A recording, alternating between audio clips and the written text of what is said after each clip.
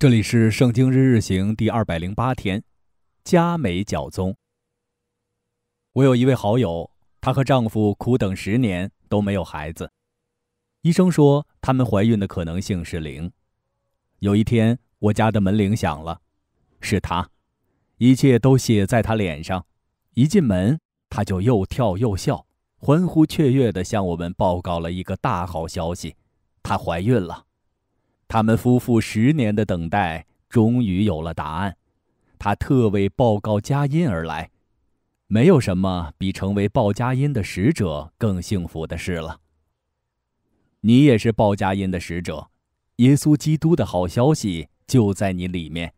所以保罗说：“你的教宗是何等佳美。”作为基督的门徒，我们肩负重要使命。就是将基督的好消息报给万民。我们中的某些人更是有幸，因为报佳音是我们的全职工作。一九七八年，当我还做律师时，我在日记中写下了这段话：我渴望能够全时间来传福音，帮助人们认识耶稣的爱。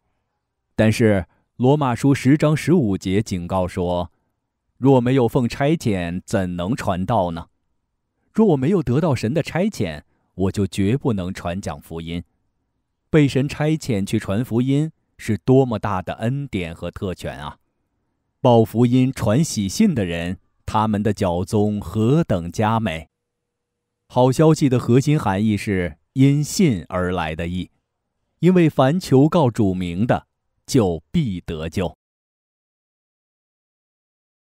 箴言十八章七到十六节。奔向主。本段箴言充满了实用智慧。我们需要谨守唇舌。愚昧人的口自取败坏，他的嘴是他生命的网罗。每个人都会禁不住说长道短，但我们要努力避免陷入传闲话的网罗。传舌人的言语如同美食，深入人的心腹。我们应该努力工作，不要懈怠。做工懈怠的，与浪费人为弟兄。依靠财富是愚蠢的，富足人的财物是他的坚城，在他心想犹如高墙。骄傲导致败坏，败坏之先人心骄傲，而谦卑则带来荣耀。尊荣以前必有谦卑。对于带领启发课程的童工来说，下面这句话特别有帮助。未曾听完先回答的，便是他的愚昧和羞辱，以及聪明人的心得知识，智慧人的耳求知识。在这些实用智慧中，有句话很切合今天的主题：耶和华的名是坚固台，一人奔入便得安稳。并非所有高台都很坚固，只有那些投奔坚固台。就是耶和华之名的人才能得救。新约表明，凡求告主名的，就必得救。此真理与真言的教导不谋而合。主啊，请在今天帮助我守住自己的嘴，谨慎从我口中所出的一切话。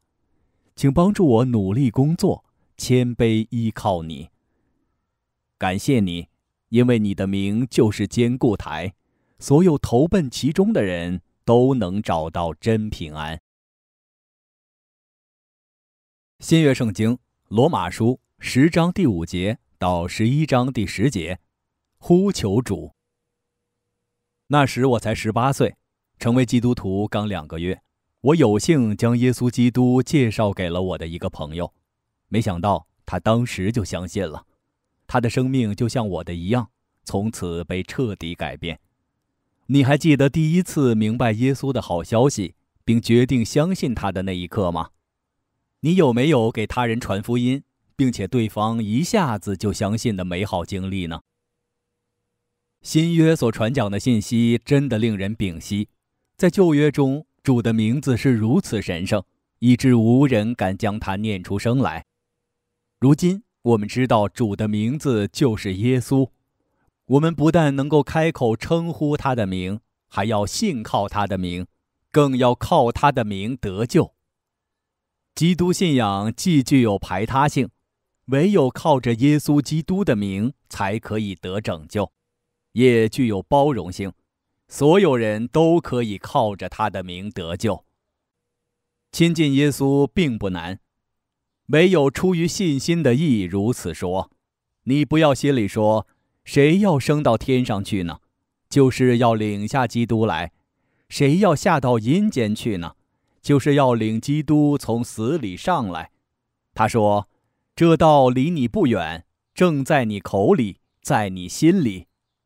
心里相信固然重要，口中承认也是关键。你若口里认耶稣为主，心里信神叫他从死里复活，就必得救。因为人心里相信，就可以称义；口里承认，就可以得救。”我经常在启发小组看到这样的事，就是当一个人首次对外宣称“我是一个基督徒”时，你似乎能感受到他身上发生了某些改变。保罗强调，若论到救恩，犹太人和希利尼人并没有分别，因为众人同有一位主，他也厚待一切求告他的人，因为凡求告主名的，就必得救。传讲耶稣基督的好消息，这对我们基督徒来说责无旁贷，因为除非人们相信耶稣，否则就不可能求告主名；除非他们听到福音，否则就不可能相信；除非有人告诉他们，否则他们不可能听见；除非有人被差遣，否则就没有人能去传福音。奉差遣传福音是一个无上的荣耀和特权。报福音、传喜信的人，他们的教宗何等佳美！成为以色列人还远远不够，就像出生在一个基督教国家还远远不够一样。保罗通过引用摩西和以赛亚的话来证明这一点，并非所有以色列人都相信，有些人很悖逆顽固。但神弃绝他的子民了吗？答案是。断乎没有，神对以色列的放弃仅仅是部分和暂时的。以色列中总有渔民，保罗本人就是例证。保罗提到了以利亚，在加密山事件后，他陷入了消沉和抑郁。以利亚对神说：“唯独剩下我一个人。”神却说：“我在民中留下七千个人。”是未曾向巴利屈膝的，这一切全是恩典。保罗表明，如今也是这样，照着拣选的恩典，还有所留的余数。既是出于恩典，就不在乎行为，不然恩典就不是恩典了。主啊，感谢你，凡求告你名的人必得救。感谢你。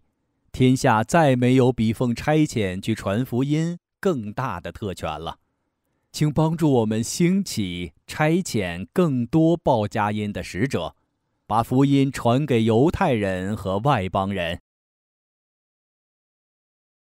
旧约圣经历代至上二章十八节到四章第八节，信靠主。神创造人类的目的就是让我们和他建立关系。除非进入这种关系，否则生命中总会缺点什么。神爱你，他希望你能在这种关系中找到成就感和方向。因此，敬拜神应该成为我们生活的中心。历代志的核心思想就是敬拜神。生命中最重要的事就是忠心不二的敬拜神。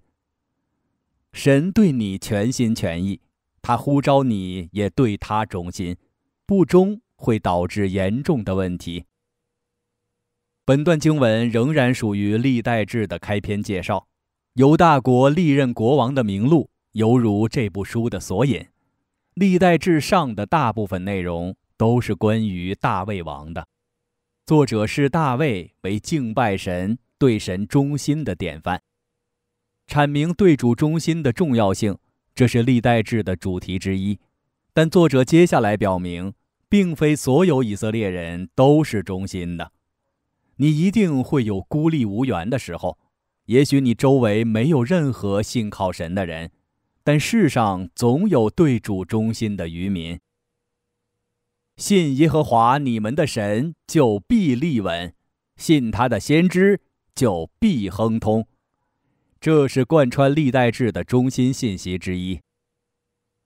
主啊，感谢你，因你总是保守信实的渔民，请帮助我们不要灰心，反要鼓起勇气。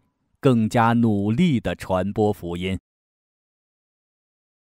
佩伯的补充：罗马书十章十三节，凡求告主名的，就必得救，就这么简单。今日金句：报福音、传喜信的人，他们的脚踪何等佳美。罗马书十章十五节。